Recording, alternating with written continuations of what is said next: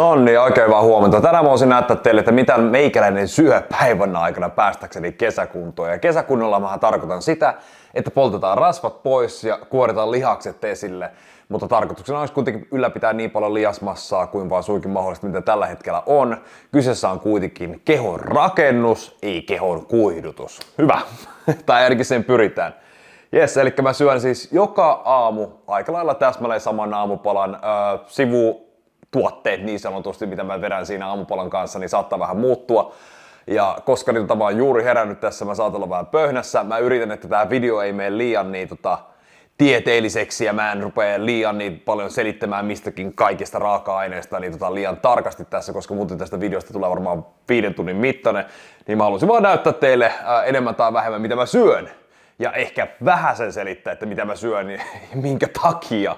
Yes. Eli tota noin, yes, tässä on tota noin, uh, miskä me jessittelen noin paljon, varmaan kun on just herätty. Uh, aloitetaan siis tota noin banaanivohveleilla tai banaanipannukakuilla. Mulla löytyykin video, minkä mä oon tehnyt aikaisemmin, mikä on noista banaanipannukakuista. Mutta ennen kuin mennään tähän aamupalaisen tarkemmin, haluaisin siis sanoa, että tuunatkaa fits.tv kautta Konna-kanavalle. Mulla on siellä Multumi, jos aloititte katsomaan tämän videon aika lähellä tätä julkaisuaikaa, niin tota, mulla on siellä nyt varmaan tälläkin hetkellä streamit käynnissä.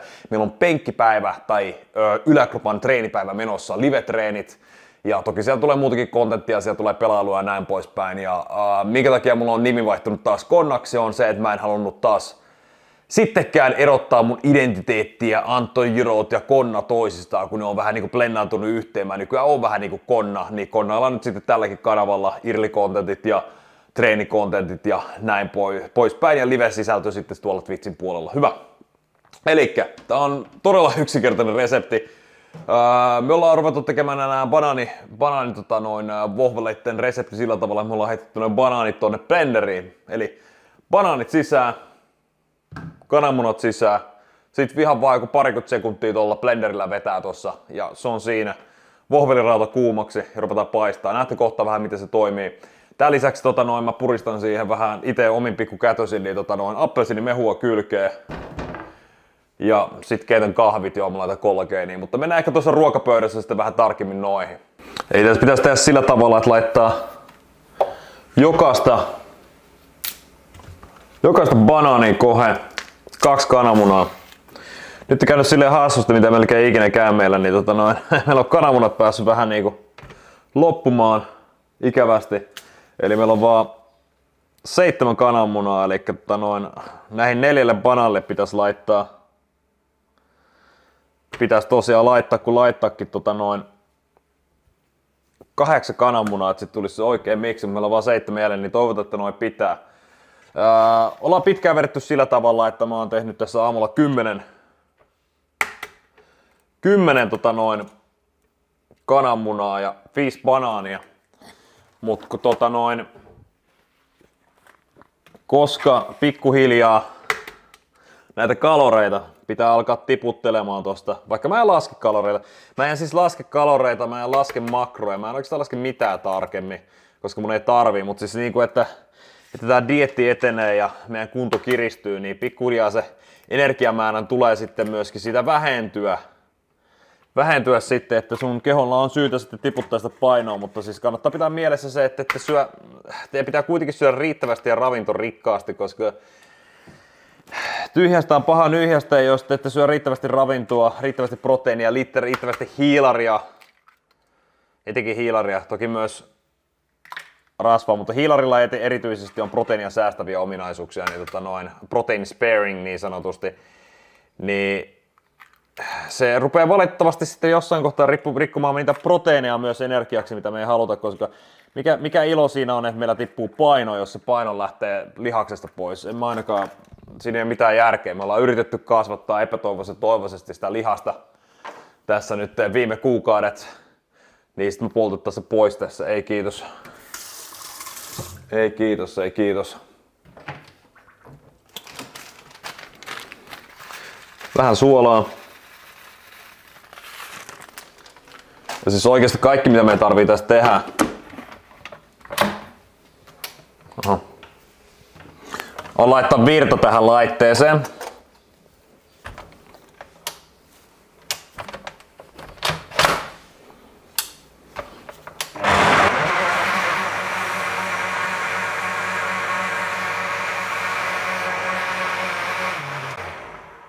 Ja se on siinä.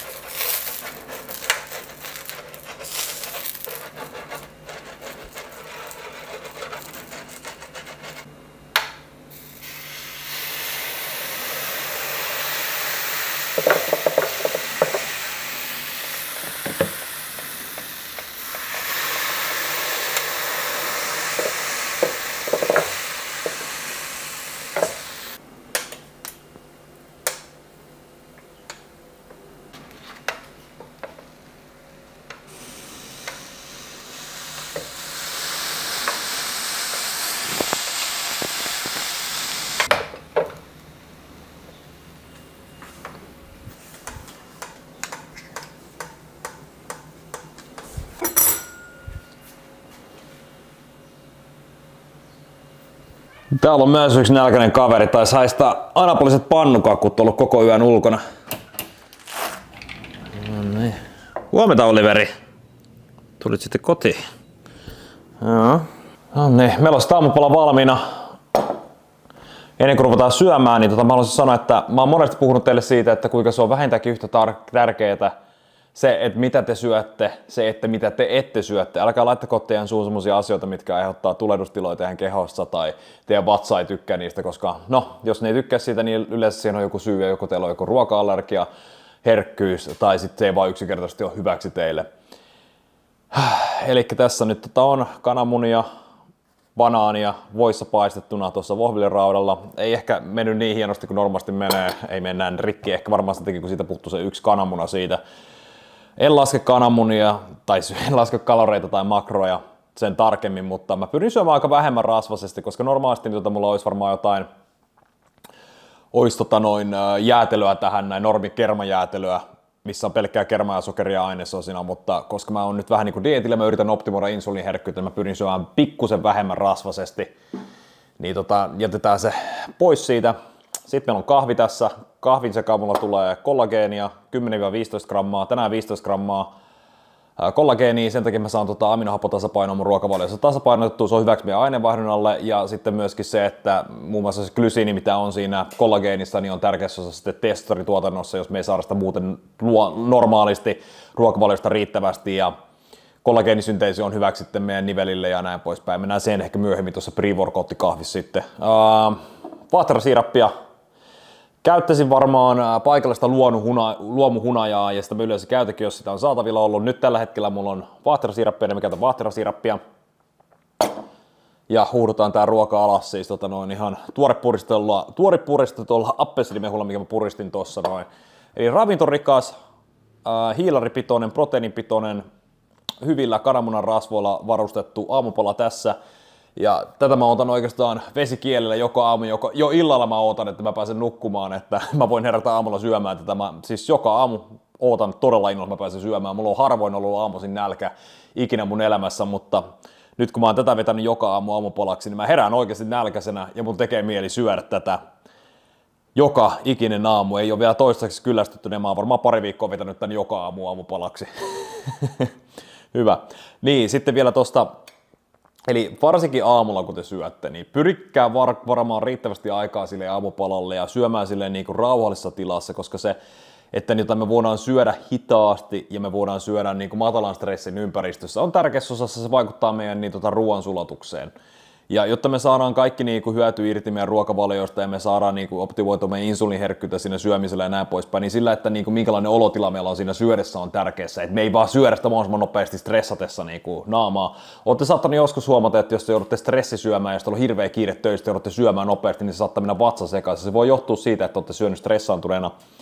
Niin syökää rauhassa, syökää hitaasti, nauttikaa sitä ruuasta ja tota noin, Ottakaa oma aika ja niinku oikeasti, mm.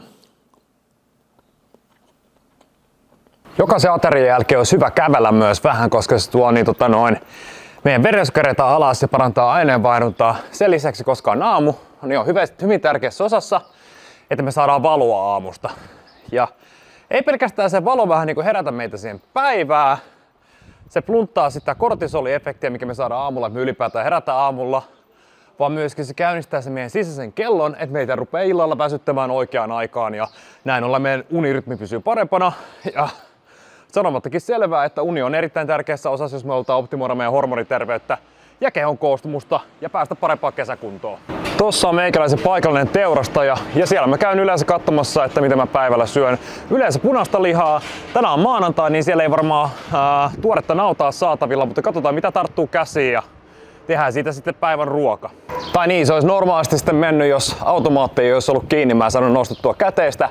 Ja täällä Maltalla on aika usein sillä tavalla, että varsinkin tuommoisissa pienemmissä paikoissa käy, niin tota noin, pitää maksaa käteisellä. Jos ei ole käteistä, niin sit se on vähän niin kuin voi voi.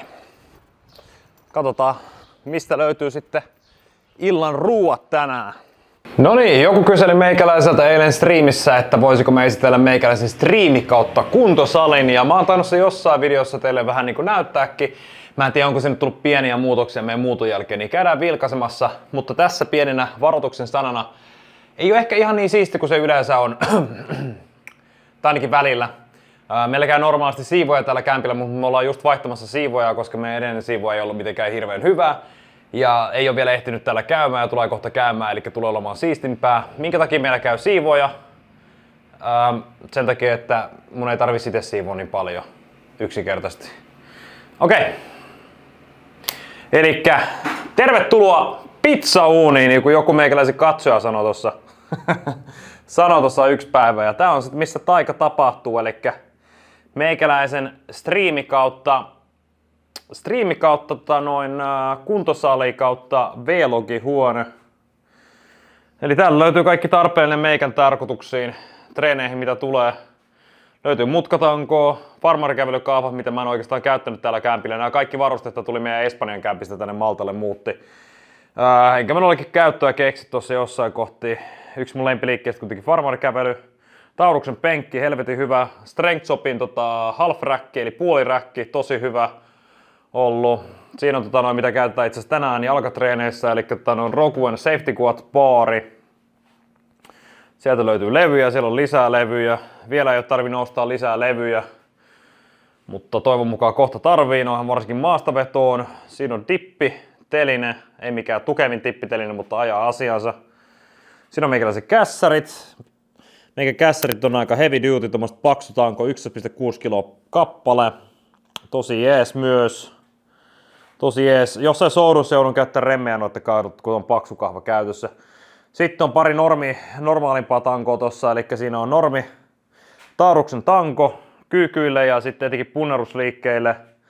Ja sitten löytyy Strength Shopin maastavetotanko, joka on vähän semmonen nuudelitanko, eli se vähän taipuu siinä, se on vähän pidempi ja se tuntuu paremmalla, paremmalta tuolla tehdä maastavetoa mun mielestä. Ja se on muutenkin paljon karheampi, niin siinä pysyy grippi paremmin sitten mavessa. Siinä on eri, eri välineitä. Sieltä löytyy äh, vahvimiesvyö, voimanostovyö. No voimanostossa ei tuommoista vyötä harvemmin saa käyttää, mutta vahvimiesvyö. Jotain pikku välineitä. Tuo on täynnä välineitä tuo. En, en rupea näyttämään, ne on niin siistissä, siistissä nipussa kaikki siellä. Ja no, lisää tavaraa, tavaraa täynnä.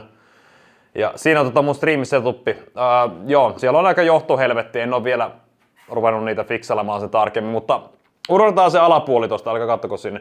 Eli mitä te näette tässä näin, hyvät naiset ja herrat ja pikku kurnuttajat siellä kotisohvilla, on tota, no, mun seisomapöytä setuppi, eli kyseessä on siis sähköpöytä, minkä mä saan seisoma-asentoon, ja Uh, etenkin nyt, kun tota noin kohta tulee Season of Discovery, Phase 2 alkaa ja mä antaa grindaamaan Vovia.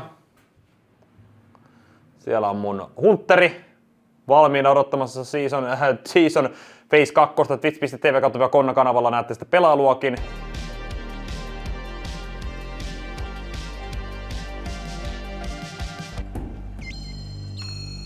Ja nyt tällä hetkellä Ultomi on käynnissä Tällä hetkellä on käynnissä tosiaan ne treenilivet, eli äh, jos tämä video tulee oikeisiin aikoihin ulos, niin mulla pitäisi olla penkkitreenit tällä hetkellä menossa tai yläkropan treenit ja penkki pääliikkeenä. Tunnatkaa Twitchin puolelle, jos kiinnostaa live-striimit. Äh, sen jälkeen varmaan pelaillaan varmaan vähän sen ja näin poispäin. Hyvä. Eli, eli siinä on mun striimisetuppi. Ei sen kummosempi. Kaksi näyttöä, niillä on pärjätty. Mikki, mikseri. Tosi tärkeää Tartarus, jos pelaatte Vovia. Voin vaan suositella tämmöstä keypadia. KXLR mikseri. Öö, näppis on halppis näppis. Minkä takia halppis näppis? Mä oon tuhonnut varmaan mun streamiuraa aikana valittelematta 20 näppistä kaatamalla kahvitsiin tai muuta vastaavaa. Stream Deck, erittäin hyvä lisäväline striimatessa ja tuolla sitten hoituu pöydän siirtäminen ylös tai alas sitten. Siinä on mun kone, 3090 näyttötisohjaan. Tämä on ollut Espanjasta asti käytössä muutaman vuoden jo, tosi hyvä ollut. Ei ole tarvinnut vielä uusia konetta. Ja siellä on Baby Yoda pitämässä meikä lempiohjainta, eli Elite Series V2. Paras ohjain videopelaamiseen mun mielestä, mitä on kokeillut. Tätä voi kustomoida ihan miten haluaa ja näin poispäin. Hyvä ohjaaja. No, perkele. Hyvä ohjaaja. Anyways, ei sen kummosempi. Siinä on mun striimisetuppi. Ja tämän juoksumaton ansiosta mä pystyn ottamaan sitten pelatessakin kovina grindipäivinä sen reilu 10 000 askelta. Monesti on huomannut, että kun on pelannut pelejä ajantaju menee tossa noita, vähän niin kuin lifehack, että tulee, tulee jo 10 000 askelta tuossa yhdessä yhden pelisession aikana, että joo, 10 000 askelta yritän päivän aikana ottaa vähintään ja se tulee tuossa helposti pelatessa ja jos mulla ei olisi tuota juoksumatta setuppia, niin olisi aika passiivinen tota, aika moni päivä, kun meikällä kuitenkin työt tekee tuossa streamit ja videoeditoinnit ja videopelailut, tuossa tykkään paljon pelaamisesta, niin toi auttaa sitten. Ja sitten mä pyrin toki käymään useamman kerran myös kävelyllä pihalla, että saadaan auringonvaloa. Sehän noissa striimeissä mä oon miettinyt, että pitää varmaan noita irlistriimejä ruveta vetämään enemmän. Käydä vaikka tuolla rantsussa, mä Tsykän hommaan kohta, Tsykällä rantsuun ja tota, sieltä vetää sitten vaikka pihatreeniä tai jotain, niin saa siinä vähän niin sanotusti töitä tehdessä, eli striimatessa ja V-lokkaamisessa, niin tota, vähän aurinkoakin samalla.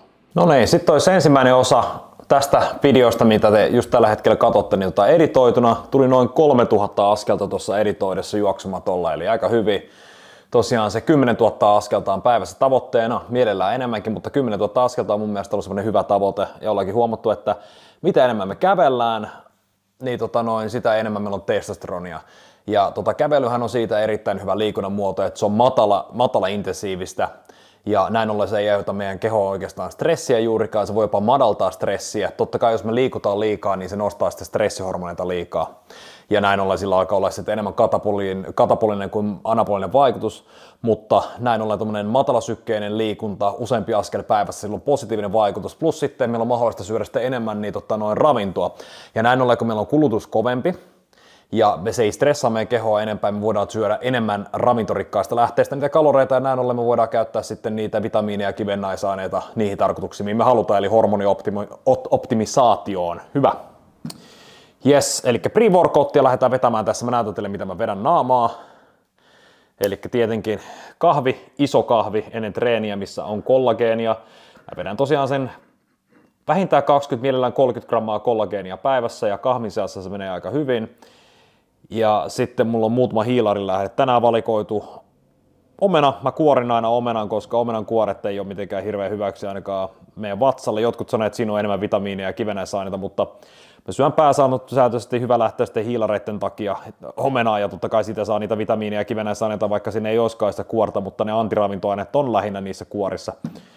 Ja sitten taatelit, tykkään tosi paljon taateleista, hyvä energianlähde, helposti imeytyvässä muodossa ja hyvä olla varulla aina himassa, jos sattuu olemaan vaikka, ettei ole tuoreita hedelmiä saatavilla, niin oikein hyvää tavaraa. Kahvissa kannattaa muistaa se, että tota noin, ää, kahvissa kannattaa muistaa se, että se, se boostaa kuin boostaakin meidän aineenvaihdunta, eli se nostaa aineenvaihduntaa, mutta sitä ei kannata ikinä vetää niinku semmosena. Eli aina niin tota noin, mä suosittelisin, jos te juotte kahvia, niin aterian kyljessä, tai sitten, että siinä olisi kylkiäisenä jotain sitten mielellään jotain hiilaria tai sokeria, niin kuin mulla on tässä näin hedelmiä tässä näin. Ja se johtuu siitä, että kahvi valitettavasti boostaa myöskin meidän stressihormonitasoja. Ja näin ollen, kun me saadaan hiilaria sen kanssa ja meillä on joku energialähde siinä saatavilla, niin tota, se stressihormonin vaste siitä kahvista tulee olemaan pienempi. Ja kun meillä, me tosiaan nostetaan sitä aineenvaihduntaa, niin me halutaan myös ruokkia sitä aineenvaihduntaa, etenkin sokeriaineenvaihduntaa. Jos me halutaan optimoida meidän insuliiniherkkyyttä, niin tota noin, me halutaan lähinnä, että meidän keho käy tota, sokeriaineenvaihdunnalla enemmän. Ja se oikeastaan se meidän aineenvaihdunta menee sen mukaan, että mitä ravintoa me syödään. Jos me syödään enemmän hiilareita, niin meidän keho tulee tehokkaammaksi polttamaan hiilareita energialähteitä. Jos me syödään enemmän rasvaa, niin meidän keho tulee sitten tehokkaammaksi sy- käyttämään rasvaenergiana, mutta totta kai me tarvitaan rasvaa riittävästi optimaaliseen hormonitoimintaan, ja me tarvitaan etenkin hiilihydraattia siihen, että me voidaan ravita meidän lihaksia, pitää meidän stressihormonitasot alhaalla, ja sitten etenkin ruokkia myös meidän aivoja, että meidän pää toimii terävänä. Itse asiassa yhden asian mä tuossa unohdin kokonaan, mitä mun piti puhua, niin tota, tosiaan tuosta kollageenista, kun varmaan jengi ihmettelee justiinsa, minkä takia mä tota kollageeniin dikkaa vetää noin paljon. Ja minkä takia mä tykkään vetää sitä kahvissa, no se on niin helppoa ajoittaa just sanotte treenin ympärille. Eli niin, tota, noin treeni itsessään boostaa meidän proteiinisynteesiä. Ja meillä on muutama erilaista proteiinisynteesiä, eli jos me syödään vaikka heraproteiiniä, niin se käynnistää aika tehokkaasti lihasproteiinisynteesiä, mutta jos me syödään kollageenia, niin se nostaa kollageeniproteiinisynteesiä meidän kehossa. Ja etenkin jos me nautitaan se treenin ympärillä ennen treeniä, treenin aikanakin voisi, mutta en ole kokeillut treenin jälkeen, niin tota, me saadaan parempi kollageenisynteesi siitä treenin aikana, kun meillä on vaikka pre-workoutissa on tuota kollageenia. Ja se kollageenisynteesi on tärkeä siitä sen takia, että siinä sen aikana me rakennetaan sitä uutta nivelkudosta. Se on hyväksi meidän luustolle. Kollageeni on hyväksi myöskin meidän iholle, hiuksille. Tän ikäisenä alkaa jo vähän miettimäänkin jo noita ihon terveyttä ja hiusten terveyttäkin jonkin verran, varsinkin kun muutama vuosi takaperin meidän hiukset lähtee terveysongelmista ja nyt ne kasvaa no vähän liiaksikin takaisin. No ei nyt ehkä ihan liiaksi, mutta ei ole kaljuntumassa enää, sanotaanko näin. Jes, ei mitään. Joo, sen takia mä vedän kollageenia ennen treeniä. Treenien parissa ja tässä näette, niin tota, vaikkakin mä pystyn pistolikykkyä aika hyvin tekemään, ää, pienen harjoittelun jälkeen taas, niin tota, mulla on oikeastaan noin kyykkyvariaatiot semmoisen, mun pitää tosi tarkkaan valikoida ne ja tänään mä valikoinkin tota, mun pääliikkeeksi Hatfield-kyykyn. Ja minkä takia Hatfield-kyykky, niin tota noin, tää on aivan erinomainen variaatio meille pidempi reit, reiti sille, niin tota jollakin saattaa tulla vähän lonkan ja etenkin polvien kanssa ongelmia normikyykkyvariaatioissa, niin koska tässä voitte ottaa tukea vähän tuosta räkistä ja työntää tota lantiota kunnolla taakse. Ja näin ollen te saatte niin tota noin vietyä sitä painopistettä vähän tavallista enemmän taakse ja pysyttyä pikkusen enemmän etukenossa niin, että te saatte pidettyä sen kuitenkin sen rasituksen hyvin tehokkaasti tulla etureisillä, säästäen polvia. Tässä rupeaa pikkulia lisäilemään painoja ja katsotaan mihin päästään.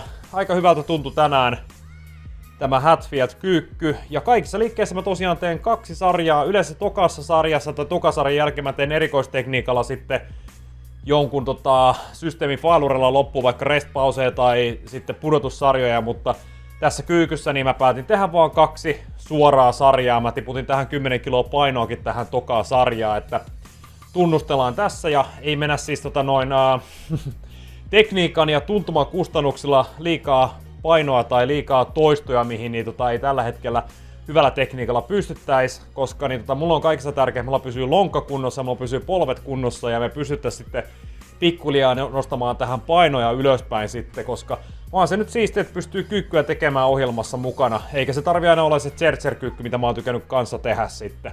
Katsotaan, miten pitkälle päästään.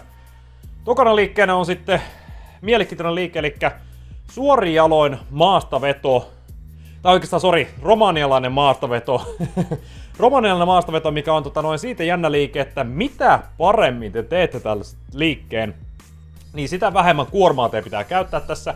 Ja mulla hyvin, hyvin, hyvin harvoin, jos koskaan loppuu tämän liikkeen tekeminen siihen, että niin tota, mulla tulee lihasvalure vastaan, vaan yksinkertaisesti kun keskittyy tuossa liikkeessä oikeasti kunnolla vaan venyttämään sitä takareita tuolla ala-asennossa, eli työnnätte kunnolla tota lantiota taakse tossa ja pyritte suoristamaan polvia ja sitten vielä tunnette sen venytyksen hetken aikaa tuolla pohjalla ja supistatte ittenne ylös sieltä takareisista, niin tota noin, ää, ainakin itellä tulee kipukynnys ekana vastaan ennen kuin pääsee lihasvailureen tuossa takareiseen kanssa. Ehkä joku kaunis päivä sitten onnistuttaisiin niin tota takareidet tuossa noin tota kunnolla väsyttämäänkin, mutta se venytys tossa, ultimaattinen venytys, mikä saa tässä aikaa tässä liikkeessä, niin se luo kyllä jo tässä kohtaa aivan älyttömät domsit meikäläiselle ja sanoisin, että yksi parhaista liikkeistä, jos ei jopa paras liike. Kun mietitään spesifisiä niin tota noin äh, takareisia kasvattavia liikkeitä, koska tässä justiinsa päästään siihen liikkeen teho, tehokkaita vaihetta mehustamaan, eli venytystä. Tämä on myös erinomainen liike tehtynä käsipainolla, kannattaa kokeilla molempia, ja missä nimessä tekniikan ja tuntuman kustannuksella ei kannata ruveta noita painoa lisäämään. Et mullakin on tässä vaan 70 kiloa painoa, ja yritän niitä tota, tosiaan mahdollisimman pienellä painolla saada sen ää, liikkeen tehtyä perille. Ja pikkuliaa sitten lisäilen niitä ja keskityn just tuohon venytykseen. Ja kuten sanoin, ää, kipukynnys tulee ennen lihaspalureja tässä liikkeessä kyllä vastaan. Mä tein tuossa lopussa vielä tokasarjan lopussa sitten niin tota, muutaman restpause-sarjan ja sain sillä vietyä sitä liikettä vähän pidemmälle asti. Aivan erinomainen liike, kokeilkaa ja tehkää se oikein, niin aivan varmasti saatte tuloksia toisena päivänä mulla on jalkapäivänähän mulla on sitten normi maastaveto siinä, millä mä sitten tuon vähän voimaa sinne, eli tässä ei yritetäkään voimaa rakentaa, vaikka kyllä se lisätty ää, lihakset poikkipinta varmasti saadaan jalostettua myös voimaksikin. Ja vaikka on jalkapäivä, niin jalkapäivisin mä teen tosiaan hauiskääntöjä, eli kaksi sarjaa hauiskääntöjä. Tänään tehtiin siis ihan suoralla tangolla. Pyrin tekemään aika puhtaasti ja jopa tuossa alavaiheessa pyrin jopa vähän jännittämään ojentajista, että saisi ton käden aika suoraksi tuolta Eli pääsis vähän sitä venytystäkin tuossa liikkeessä niin tota mehustamaan, vaikka se ei ole ehkä tämän liikkeen se pääpaino. Tämä, mikä tästä liikkeestä tekee hyvän hauiskäännöllä, niin tästä pystyy käyttämään aika kivoja kuormia. Ja sitten kun rupeaa lihas väsymään, väsymään vähän enemmän. Toki tässä ekassa sarjassa niin mä pyrin tekemään aika puhtaasti loppuun asti ja yritän pikkuhiljaa saada toistoja ylös ja sitten loppujen lopuksi vielä jopa painoa ylös tässä pikkuhiljaa. Niin tuossa tokassa sarjassa mä annan itselleni luvan että mä voin alkaa cheattaamaan siinä. Eli sitten kun ei enää mekkä enää niin, äh, niin puhtaan näköisellä tekniikalla ylös, niin mä rupeen heilahtamaan vähän enemmän tuolta, annetaan vähän kehonkieltä mukaan tuolta, mä saan tota edelleen liikutettuista painoa, mutta edelleen pyritään koko ajan, jos vaan suikin mahdollista, hallitsemaan tuota liikkeen negatiivista vaihetta niin paljon kuin vaan suikin mahdollista, ainakin että pidetään siinä, alava, siinä laskuvaiheessa, pidetään se jännitys siellä hauiksilla. Ja tää on ollut jotenkin tota, noin nyt todella tehokas liike mulle tämä, kun mulla on aina ollut vähän silleen niinku, mulla on kahden metrin syliväli, mun on välillä vähän vaikea löytää semmosia liikkeitä, millä mä saan kädet kunnolla tuhottua. Ojentajat mä saan aika hyvin tuhottua. Mulla on löytynyt siellä hyviä liikkeitä, mutta Hauiksen kanssa on vähän sille, että joskus toimii jotkut liikkeet hyvin ja sitten se tuntuma katoo täysi. Niin mulla on tää suoratanko toiminut nyt huomattavasti paremmin kuin toi mutkatanko mikä on ollut mulle silleen niin kuin yllätyksenä. Mä oon varmaan vuosia tehnyt suoralla tankolla hauiskääntöjä, niin päätin kokeilla ja nyt kun nämä yrittää pitää silleen suht puhtaana, ja sitten varsinkin kun viimeistelee tuommoisilla cheat-käännöillä ja pienellä restpause-setillä, niin kaksi sarjaa tuntunut riittävän tosi hyvin käsille. Toivotaan, että tällä saataisiin vähän jopa kasvuakin sinne aikaiseksi. Sitten ää, mä teinkin pohkeet, eli tänään tehtiin ihan vaan yksi jalka kerrallaan. Toisen jalkapäivänä mulla on kaksi jalkaa kerrallaan. Mulla on vähän rajoit, rajoit, rajoittuneesti näitä välineitä täällä kotisalilla, ne pitää vähän sovellella, niin mulla on yhden, yhden jalan ää, pohje nousut seisten ja sitten mulla on kahden jalan pohjin nousut seisten toisena päivänä. Ja mä oon vähän korottanut tota, niin mä pyrin menemään siellä alhaalla niin venytykseen ja ylhäällä mä pyrin sitten vetämään kunnon supistuksen. Mulla on aina toi oikea pohji rupeaa tuossa kramppaamaan, kuten näette, niin mulla jäi toi ensimmäinen toisto jo kesken tossa. Ihan vaan tälläkin, vaikka mulla on pelkkä toi tangon paino. Toki toi tanko painaa yli 30 kiloa toi safety, safety squat baari, mutta kuitenkin hyvin tuntuisi menemään perille. Pohkeet oli muutaman vuoden kokonaan treenaamatta, kun ei vaan yksinkertaisesti kirjoittanut treenata pohkeita, mutta yritetään ottaa sinnekin muutama gramma lihasta lisää, jos mahdollista. Sitten, mulla on tänään myös grippitreeniä ja taas tehtiin pari sarjaa siis tota noin roikuntaa viiden kilon käsipainolla. Ja mulla on tuossa kello tuossa mukana, mä pysyisin vähän kärryllä, että missä se menee. Tänään roikuin siis yksi käsi kerrallaan, 30 sekuntia per käsi. Ja mä pyrin tässä liikkeessä samalla, niin mä saisin semmoisen hyvän venytyksen tuonne latseen, eli mä yritän niitä ottaa, ottaa täyden lapairotuksen sieltä ja vähän niinku venyttää niitä latseja. Toimii hyvin, saadaan sinnekin ehkä vähän liikkuvuutta lisää sitten. Ja näin ollen tota noin, ehkä jopa massaakin sitten, koska venyttävää me päästään kuormittamaan sitä venytystä siinä. Ja sen kanssa vuorosarjoin sitten tota noin forkkujen ojentajille tehtiin reverse käännöstä, hauiskääntöä, vaikka tässä ei hauikset juurikaan tee töitä, tuossa päätyön tekee siis, että meillä ranteet pysyy koko liikkeen ajan suorana. Ja siihen pyritäänkin tuossa liikkeen aikana, että pidetään vaan ranteet suorana ja mennään hitaalla liikeradalla tuossa, etenkin tuo laskuvaihe ja saadaan sinne forkkuihin vähän lisää, lisätyötä. Toimii erityisesti tuomaan stabilaatiota penkkipunneruksiin ja muihin punnerusliikkeisiin. Kokeilkaa ihmeessä, jos ette ole jostain kumman syystä ikinä kokeile tätä.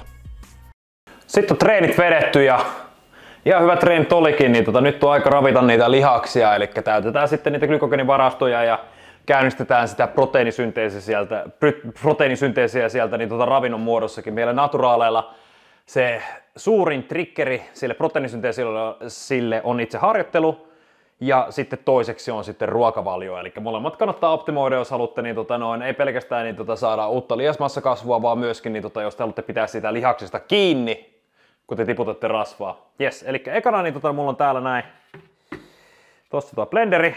Mä tykkään laittaa sinne vähän tota maitoa pohjalle heti ekana. Jo ihan pikkusen tuossa vaiheessa sen takia, että niin musta tuntuu, että se sekoittuu sinne paremmin, kun mä laitan sitä seuraavaa ainessaa sinne seuraavana, eli siellä nyt tota, tai ekana. Eli mulla on kreikkalaista jukurttia 0 prosentin rasvaa ja tota, no, mä yritän tässä vähän niin säästää kaloreita ja silleen, että mä en saa liikaa niin rasvakaloreita, koska mä yritän pitää sitä insuliiniherkkyydestä, insuliiniherkkyydestä huolta ja nyt kun on tota post ateria, niin mä haluan muutenkin saada lähinnä vaan hiilareita ja proteiinia tässä ateriassa. Ja tämän pitäisi sitten niin, tota, noin, ää, pitää mut täynnä toivon mukaan sitten iltaa asti, kun mä syön mun päivän vikan aterian. Mulla on lupa syödä näiden aterioiden välillä niin monta tota hedelmää kuin musta vaan tuntuu. Jos mulle tulee nälkä, niin mä voin syödä hedelmää ja näin poispäin. Että mä en pyri missään nimessä niitä näännyttämään itseäni. Hyvä, eli tässä on kilo tässä. Niin mä laitan tästä noin yksi neljäsosan tänne, eli 250 grammaa. Eli siitä saataisiin noin nopealla matikalla, kun 10 grammaa proteiinia on tota noin sadassa grammassa, niin saadaan nopealla matikalla sinne tota 25 grammaa proteiinia.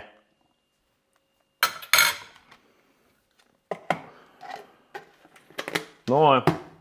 Sitten otetaan sinne 10 grammaa kollageenia.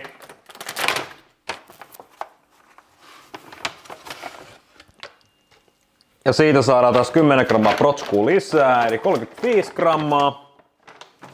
Ja maidosta voidaan arvioida, että sitten tulee se 5 grammaa vai mitä siitä tuleekaan. Mä yritän tähtää näillä aterioilla, että mä saan ainakin sen 40 grammaa proteiinia, vaikka mä en sen tarkemmin niitä tosiaan laskekaan. Että saadaan siitä se proteiinisynteesin vaste. Ja tykkään banaaneista. Banaaneista.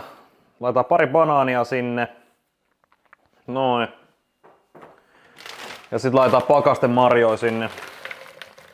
Ihan niinku maun mukaan. Vähän lisää maitoa.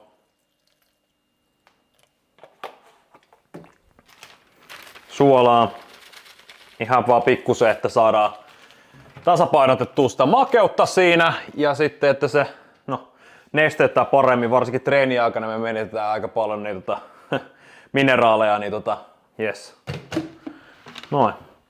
Eli siinä on oikeastaan koko ateria. Mä blendaan se tossa ja juon naamaa hiljalleen.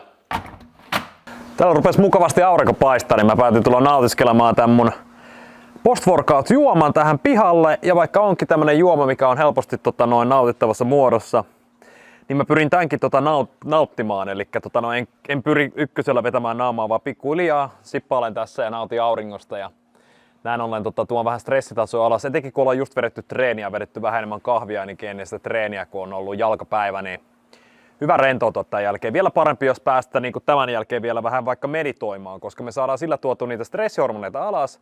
Ja kun me saadaan stressihormoneja viety alas, niin meidän keho voi keskittyä sitten enemmän niin tota, syntesoimaan sitten toivon mukaan sitä testosteronia, eli niitä anabolisia hormoneita sieltä estrogeenin sijasta ja kortisolin sijasta.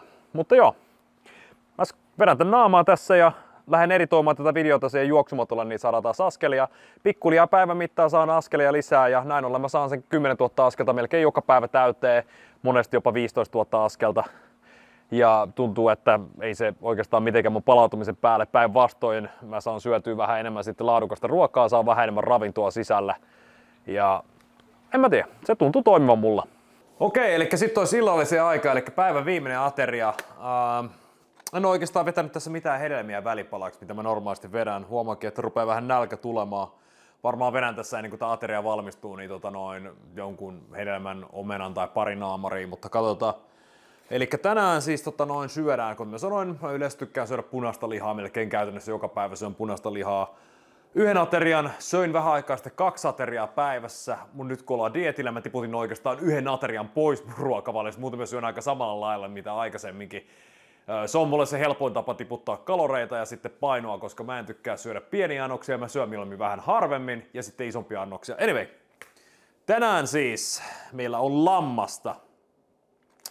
Ja tykkään valita tämmöisiä lihoja, missä on tota, noita lumpalasia jäljellä vielä. Ja sitten jos mä käyn teurastajalla hakemassa vaikka nautaa, mä pyydän siltä vähän noita lumpalasia vielä, jos varsinkin jos tehdään keittoa.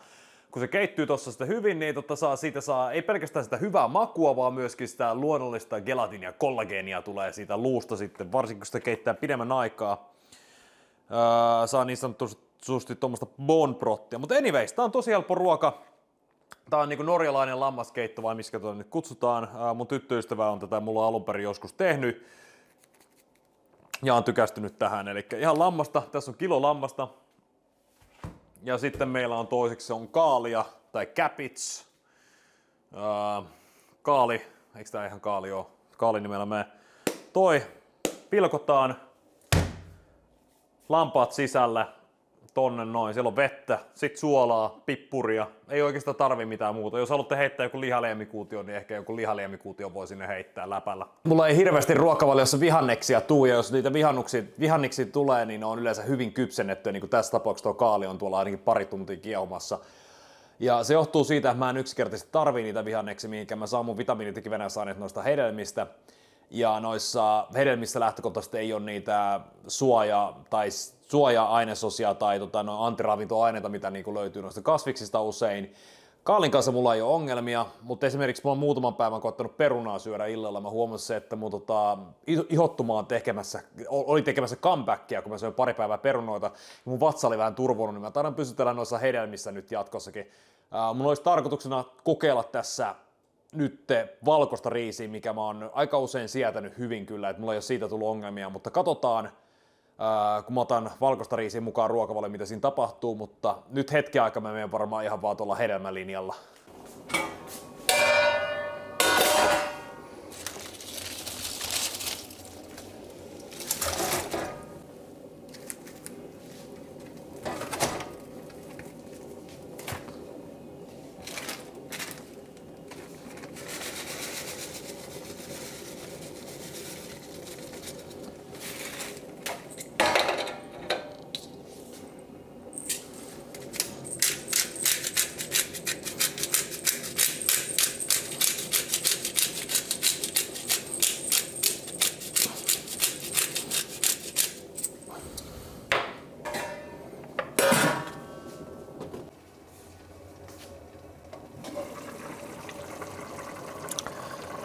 Ai ettien, että... Siinä on sitten päivän viimeinen ateria. Nautiskellaan tässä lasillisen viinin kanssa.